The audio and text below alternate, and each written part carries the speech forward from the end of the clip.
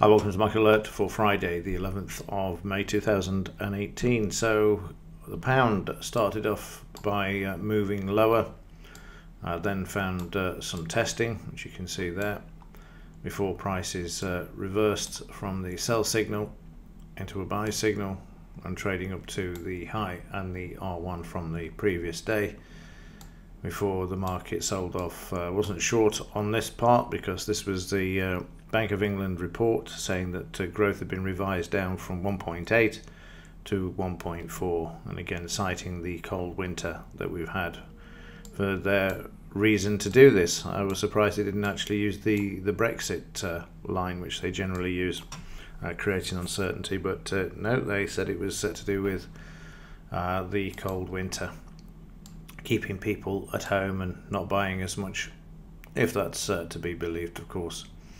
So in the uh, in the daily, uh, the market uh, continues to trade uh, sideways at the moment. You can see this. Uh, we came down and touched the 134 yesterday, 134.57, and it still looks weak. prices are going to move there, even though we've breached this trend line and we've got these three higher highs.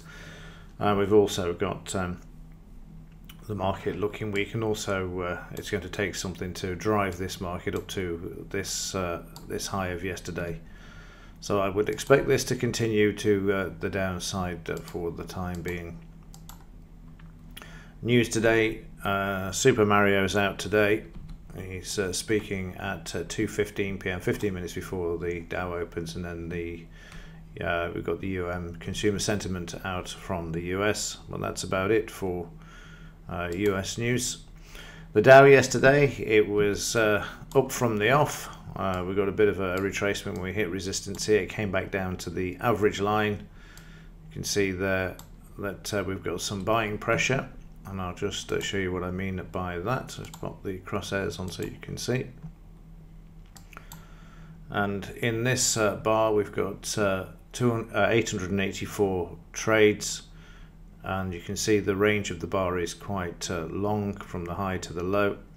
And then the next bar we've got uh, 886 and the range is less. And we've got a tiny bar coming down and testing the uh, a moving average there.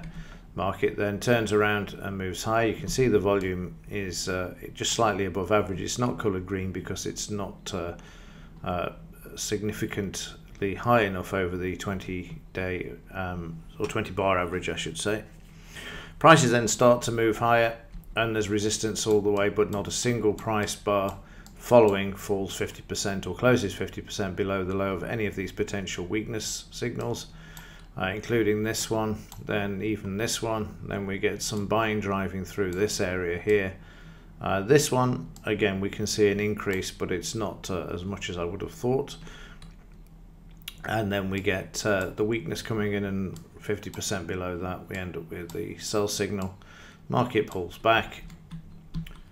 And uh, we then see a bit of a, a retracement before we come down and then we see the buying come back into the market again. You've got it uh, a cluster of volume here before they just run the market back up around 76% uh, of uh, this level.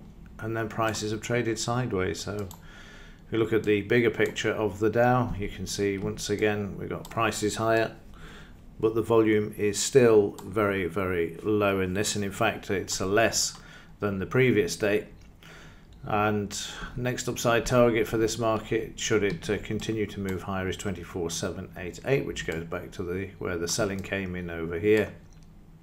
And you've got this resistance here, so it's going to take a, a decent move to break through this area. And if it does, then we're off to 24983. If not, we've had uh, many days up. We could see the market uh, reverse there as well. So what I'm going to do is to remove these two uh, just in case the market does move to the downside and we'll go from here to here first and that's uh, the downside target uh, is where I would actually see uh, the market moving lower. And also first downside one will be 24,500 as well yesterday's uh, low.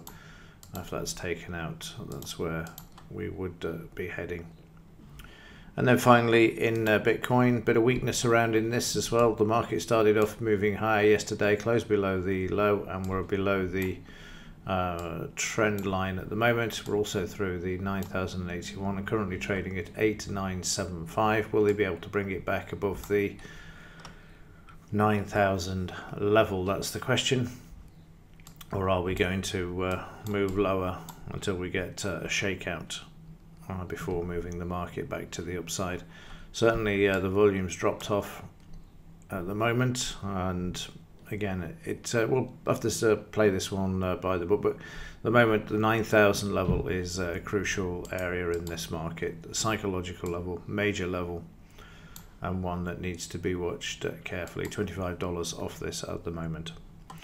Right, that's it uh, for this one and uh, for this week.